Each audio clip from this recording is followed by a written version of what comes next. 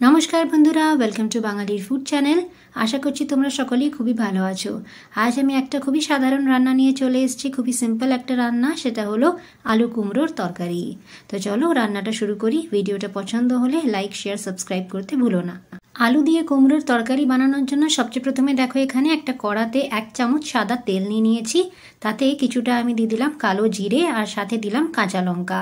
তোমরা চাইলে রান্নাটা সর্ষের তেলেও করতে পারো। এবার এখানে ওয়ান স্পুন হলুদ গুঁড়ো দিয়ে কেটে রাখা কুমড়ো আর আলুটা দিয়ে দিলাম। আলু আর কুমড়োটাকে একদম ছোট ছোট করে কেটে নিয়েছি। তাতে আলু আর কুমড়োটা ভালো করে সিদ্ধ হয়ে যাবে।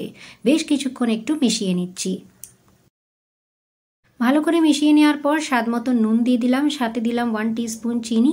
চিনি দিলে পরে কুমড়োর তরকারিটা একটু মিষ্টি ভাব এসে যায় আর সেটা খেতে খুবই সুন্দর লাগে, তাই জন্য চিনিটা দিলাম। দুটোকে ভালো করে মিশিয়ে নেওয়ার পর এখানে হাফ গ্লাসের মতন জল দিয়ে দেবো।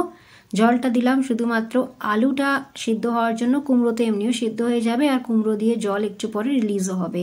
তো এখানে দেখো দিয়ে দিলাম কাশ্মীরি গুঁড়ো লঙ্কা, সাথে দিলাম কিচেন কিং মশলা। কাশ্মীরি গুঁড়ো লঙ্কাতে তরকারির রঙটা ভালো হবে, আর কিচেন কিং মশলা শুধুমাত্র একটু টেস্টটা এনহ্যান্স করার জন্য দিলাম। তোমাদের কাছে না থাকলে গরম মশলাটা দিতে পারো। কড়া চাপা দিয়ে রান্না করব। যতক্ষণ না কুমড়োটা পুরোপুরি সিদ্ধ হয়ে যাচ্ছে। তো এখানে দেখো জলটা পুরো শুকিয়ে গেছে আর কুমড়ো, আলু দুটোই ভালো মতন সিদ্ধ হয়ে গেছে। গ্যাসের ফ্লেমটা অফ করে নুনটাও টেস্ট করে নিয়েছি। এবার গরম গরম বাটিতে সার্ভ করব।